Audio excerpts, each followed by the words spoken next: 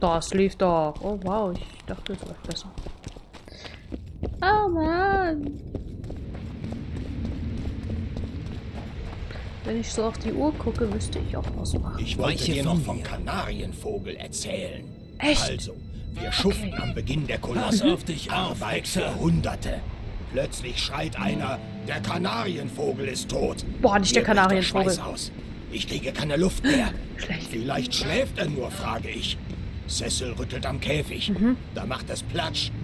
Und einer fragt, wer hat dem Vogel Maische zu fressen gegeben?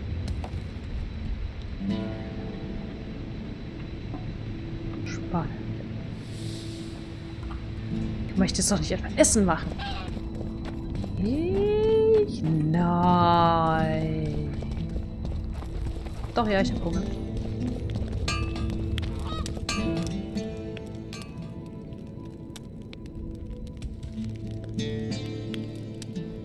Questgegenstand.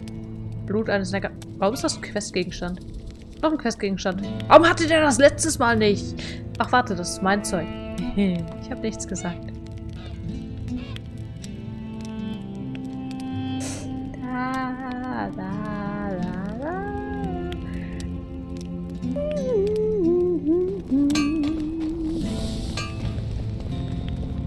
Hab ich Essen gehört? Ja. Lasagne.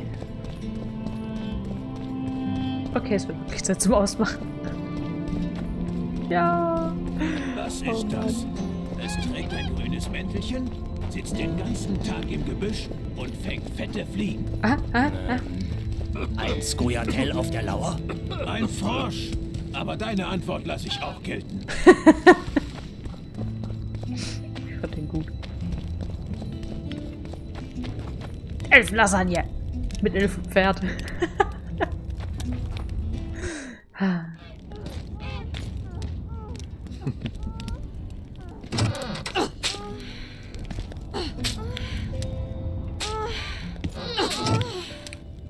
Ist jedes Mal was anderes da drin.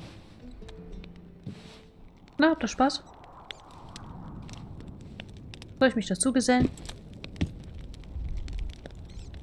Ich habe versucht, Triss aufzuspüren, aber das Megaskop funktioniert in diesem Nebel nicht. Ich fand nur ein schwaches Signal, irgendwo aus der Nähe, sicher von der anderen Seite. Im Lager von Cadwin? Du wirst nachsehen müssen. Du kommst genau richtig. Ja.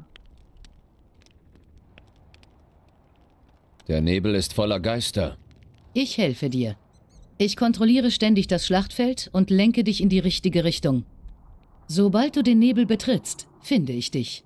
Dann auf Wiedersehen. Wir haben immer noch kein Königsblut. Ich weiß. Hänselt. Wir brauchen sein Blut, nicht seinen Tod. Auf die Gefahr hin, mich zu wiederholen. Ich bin kein Königsmörder. Noch nee. Wie? Ich dachte, ihr macht jetzt weiter. Wie? Aber. Ja, also. Hä? Schade. Gut. Dann würde ich jetzt speichern.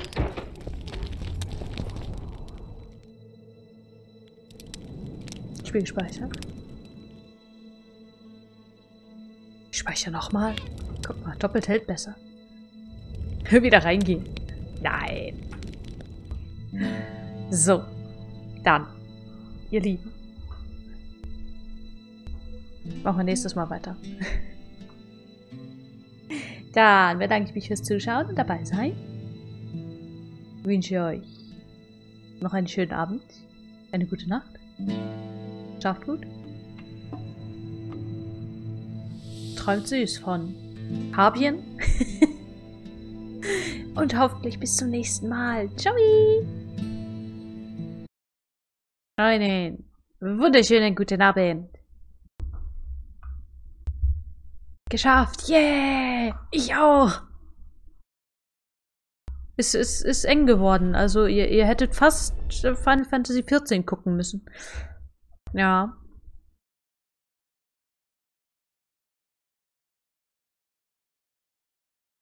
Aber jetzt, jetzt, jetzt müsst ihr doch leider, leider Witcher gucken. Auch gerade noch gegessen? Nee, wir sind gerade noch in Dungeon gelaufen. Und dann so gelaufen, gelaufen. Ich gucke auf die Uhr so, boah, das, äh, das, das wird knapp. Und dann so 48 Dungeon rum. Okay, okay, ich muss ausmachen. Ciao.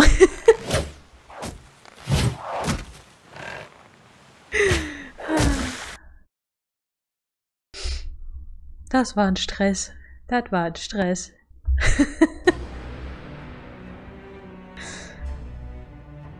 Passiert. Oh, Stress. Keine Ahnung, ich habe sie gegessen. Yum, yum, yum, yum, yum.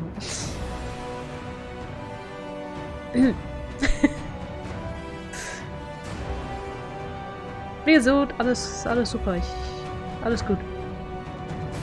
Ich hatte auf der Arbeit fast einen Herzinfarkt, aber alles super. oh, schön. Und wie war euer Tag so?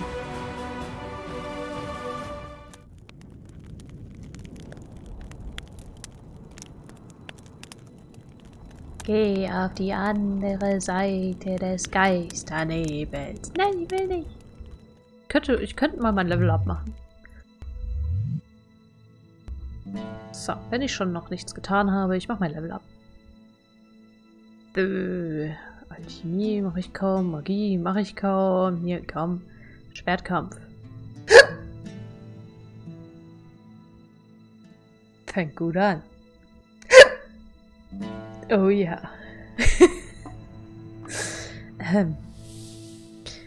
Energieaufwand beim Blocken. Hä? Blocken? Ich block doch nicht.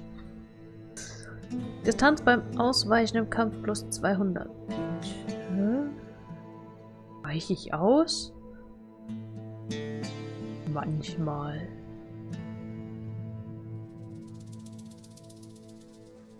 Schaltet die Fähigkeit frei, Schläge des Gegners zu kontern.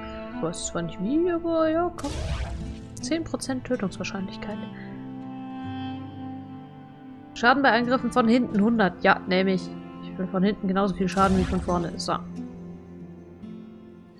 Vitalität plus 25. Nehme ich auch. Nehme ich auch. So.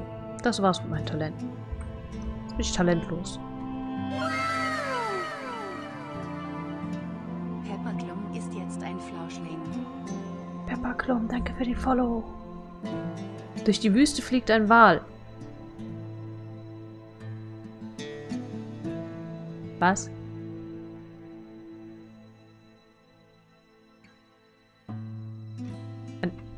Was?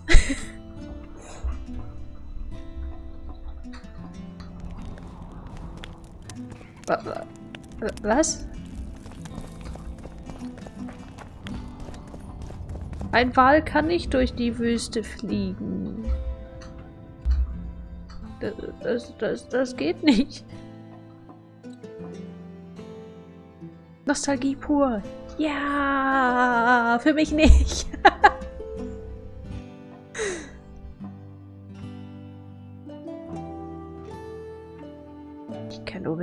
3. Wobei, Witcher 1 haben wir schon gespielt. Ich kenne jetzt auch Witcher 1. Und das von Witcher 2, was wir bis jetzt gesehen haben. Bei Final Fantasy XIV. Ich bin in die Wüste, um Zeug zum Schmieden zu sammeln, da kam mir ein Wal entgegengeflogen.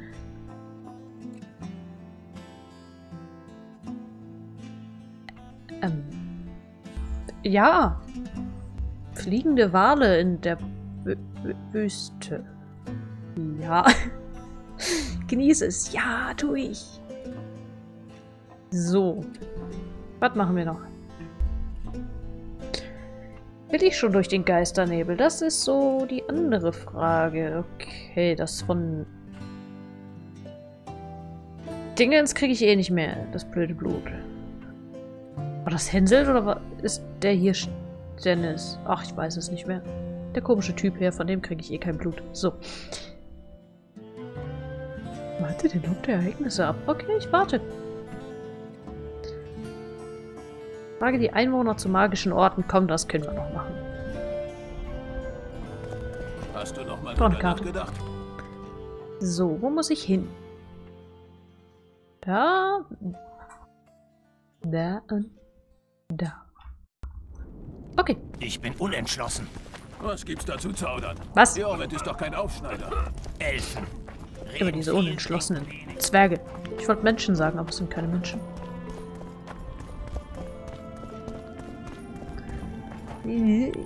Ja, ich muss gucken, wo das M ist. Ich finde das sonst nicht.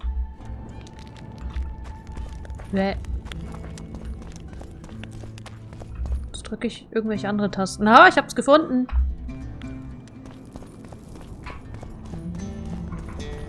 Ich habe mir nicht gemerkt, wo ich lang muss. ich muss nach links. Okay, danke. Ihr könnt auf die Minimap gucken. Das ist zu einfach. Das, das ist zu einfach. So. Muss ich in das Haus oder ist das wieder unten? Boah, das bestimmt wieder unten, oder? Ich hasse es. Ja, definitiv unten. Hey, was geht? Oh. Du hattest recht. Die Rebellen sind gar nicht so blutrünstig. Das ist schlecht. Sie haben uns die Waffen abgenommen und das Ehrenwort, dass wir nicht fliehen. Und das ist schlecht? Es ist sogar sehr schlecht, dass sie nicht blutrünstig sind. Henselt ist es nämlich. Und der taucht hier gleich auf. Was?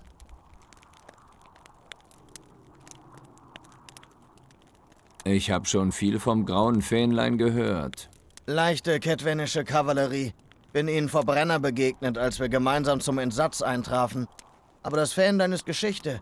Ich glaube, vor drei Jahren sind sie vor Wergen alle gefallen. Du hast vorhin erwähnt, dass ihr einen Hexer mit Schlangenamulett sucht. Ja, Sheila de Tankerville hat uns mit der Suche beauftragt. Der Befehl war kurz und bündig. Tötet ihn und alle Begleiter. Keine Gespräche, keine Nachforschungen, Analysen oder Urteile. Mhm. Hm. Gut, ähm. Ja, ähm. Warum will sie, ähm, Triss tot sehen?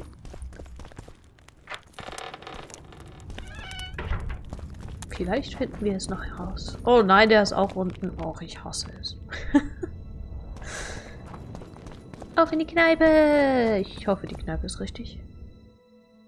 Ähm. Ich glaube ja.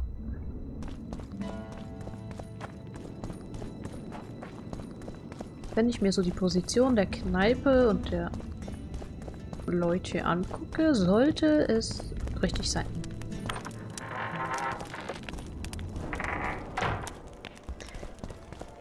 Jo. Lass einen rein, gleich machen sich hundert breit. Womit Du kann da. ich dienen? Hatte ich dir das nicht schon gefragt? Eigentlich? Ja, eigentlich schon. Best, lass uns würfeln. Okay? Ich möchte würfeln. Besiege Brunon Bix und Cornelius Meyer. Wenn du das schaffst, glaub ich dir, dass du was kannst. Na Dann gut. spiele ich gegen dich. Wie die Na gut. Ameisen. Menschen, Frauen brauchen sich nur mal kurz auf einen Mann zu setzen und schon Der Handel mit. Catwell ist tot. Hä, mit wem soll ich denn hier reden? Meine Verehrung. Wohin denn so eilig? Nee, ich will mit... Genau. Hä? Okay. Kann ich aber nichts nach dem magischen Ort fragen. Der redet nicht mit mir? Geh auf der Spur der auch nicht. Ja gut, dann rede ich mit der letzten Person, die noch auf der Liste steht.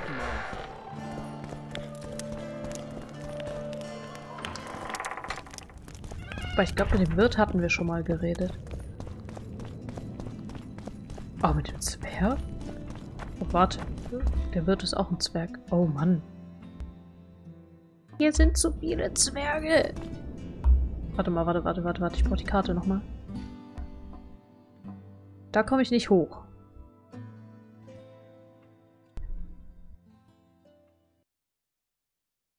Glaube ich. Ja? Komme ich da durch? Boah, ich weiß es nicht. Ich guck einfach mal. Ansonsten laufen wir nochmal durch die komplette Stadt. Wird schon schief gehen.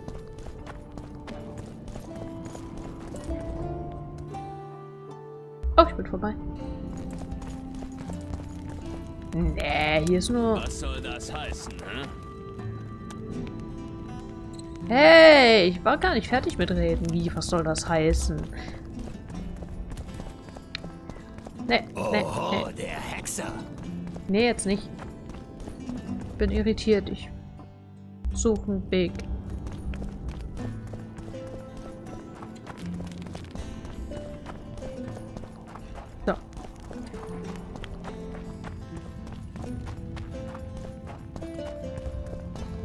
Habt mir immer noch nicht verraten, wie euer Tag war. So, Punkt. Geht doch nicht. Voll gemein. Einer war ganz okay. Hallo, Cecil. Wie mein Tag war, weißt du doch. Ja, deiner. Mein Tag war langweilig. Oh. Langweilig.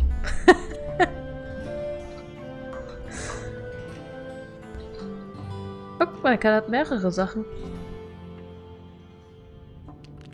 Ich muss gleich noch arbeiten. Ih, Arbeit. Cecil, kennst du jemanden, der am Krieg vor drei Jahren teilgenommen hat? Ich war selbst dabei. Hast du an dieser Feldschlacht teilgenommen? Und ob. Philippa meinte, du solltest einiges über die Schlacht wissen. Henselt, dieser Schwachkopf, den manche König nennen, war der Ansicht, dass Eddern von Memmen bewohnt ist, die sich schon voll scheißen, wenn er nur mit seiner Armee über den Fluss setzt. Warum hat er Edirn eigentlich angegriffen? Laut Henselt ist Ober-Eddern uraltes Erbe der Krone von Kedwin und muss dem Mutterland wieder einverleibt werden.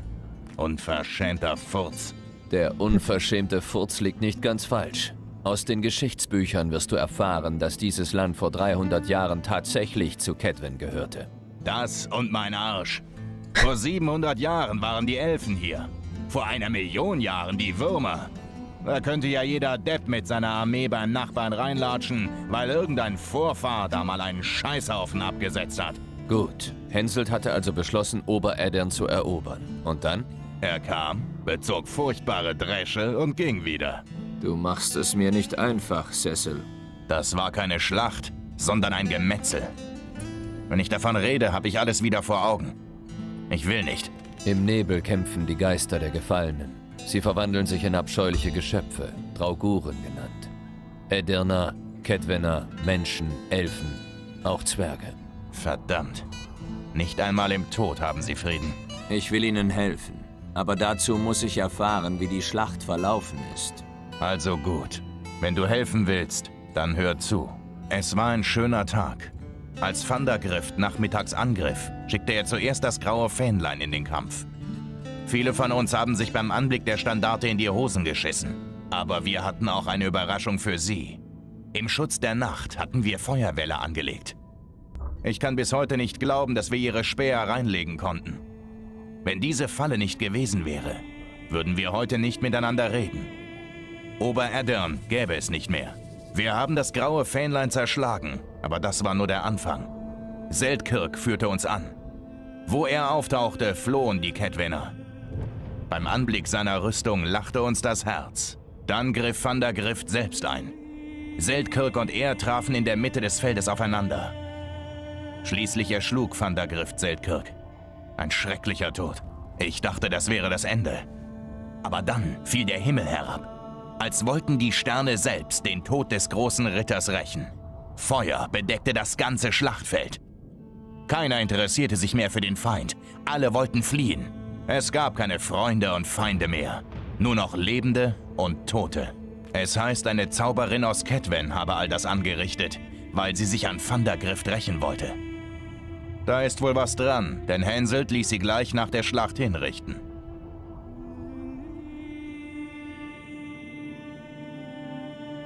Uff.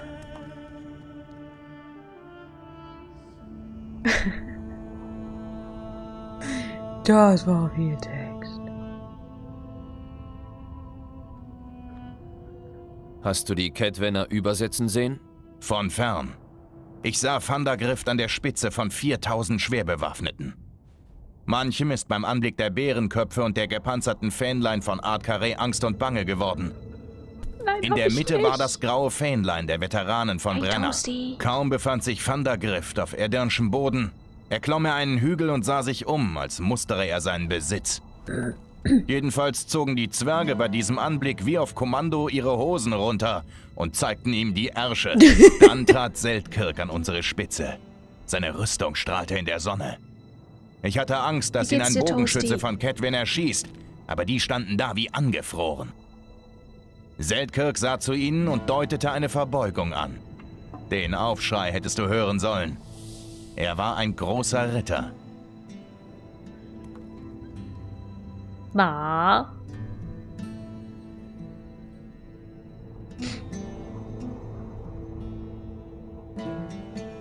Hier. Mehr Witcher-Geschichte. Erinnerst du dich an die Zeit vor der Schlacht? Als wär's gestern gewesen. Henselt hatte seine Truppen drei Tage nach der Tag- und Nachtgleiche über den Pontar geführt. Eddern hat gute Kundschafter, so waren wir darauf vorbereitet. Seltkirks Truppen waren an der Hügelkette postiert. Die Stimmung stieg beim Anblick der wehenden Banner Wengerbergs, Aldersbergs und Guletas. Mir geht's auch gut, Ritter und danke. gepanzertes Fußvolk standen Seite an Seite. Sogar die Bauernschaft hatte ihre Abteilungen. Die Zwerge nahmen die linke Flanke ein. Wir waren über 5000 Mann.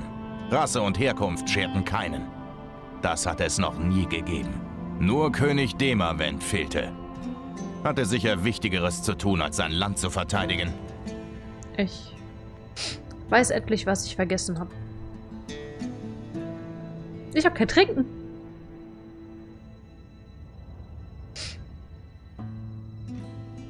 Mist.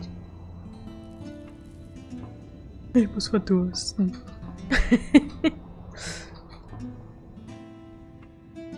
Trinken holen. Kann ich gleich was trinken? Ja, danke.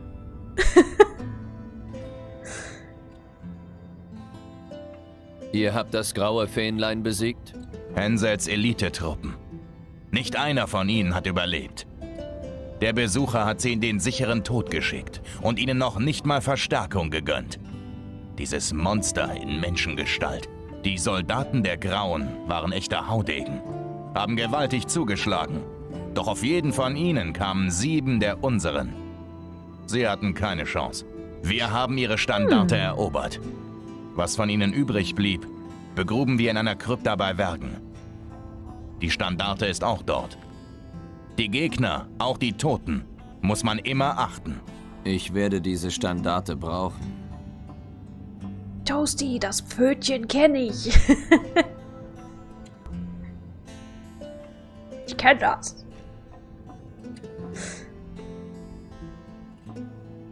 Hast du den Zweikampf von Seltkirk und Vandergrift selbst gesehen? Ich war recht nah bei ihnen. Einen solchen Kampf hatte ich noch nie erlebt. Und werde es wohl auch nie wieder. Es war ihr zweiter Kampf. Zuvor, bei einem Turnier in Art Carré, hatte Seltkirk den Sieg davongetragen. Vandergrifts Schwert war geborsten, sodass er aufgeben musste. Ein Ritter wie Seltkirk wird kein zweites Mal geboren. Ja, genau Man das. sagt, Vandergrift sei nach dem Turnier so zornig gewesen, dass er den Schwertschmied aufhängen ließ. Dann bestellte er bei einem Zauberer ein ganz besonderes Schwert. Es war bestimmt dieses Schwert, mit dem er Seltkirk dann erschlug. Vandergrift ist tot. Weißt du, was aus seinem Schwert geworden ist? Aber ja, Saskia hat es. Und das ist auch gut so.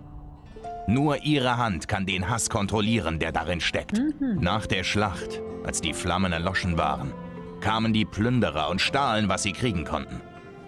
Stell dir vor, in ganz Eddern gibt es kein Andenken an Seltkirk. Sein Bruder faselte etwas von Handschuhen, aber er ist ein Lügner. Okay. Ich danke dir, Cecil. Du hast mir sehr geholfen. Ich glaube, ich weiß schon, was ich zur Aufhebung des Fluchs brauche. Weißt Frau du? Eilhart sagte, man bräuchte vier Symbole. Die Standarte symbolisiert den Tod, Vandergrifts Schwert den Hass. Aber die zwei anderen, Philippa soll sie beschaffen. Sie sollte wissen, wo sie zu finden sind. hoffentlich. Yeah. Warte den Lauf der Ereignisse ab. War ja klar. Warte. Warte, ey, warte, warte, warte, ich bin noch nicht fertig mit dir. Stopp! Zwerg! Ja. Sie braucht Hilfe. Philippa will ein Gegengift herstellen, aber dafür braucht sie ein magisches Artefakt. Vielleicht eine Farnblüte. Oder einen steppenden Regenwurm, was? Hä? Hör mal. Ich habe keine Ahnung von Magie. Aber mir fällt da ein Ort ein, der die Zauberer schon immer interessiert hat. Sie bezeichnen ihn als sehr starke Intersektion. Vielleicht solltest du da mal nachsehen. Gern. Wo ist er? Im Wald hinter Wergen. Such nach den Ruinen. Es ist ein Ort der Macht. Den kannst du nicht verfehlen. Warum so verdrießlich? Saskia ist zäh, die wird schon wieder. Kopf hoch. Danke, Droste. Hexer, ich habe dir zu danken. Wenn du das Mädchen rettest, rettest du meine Stadt.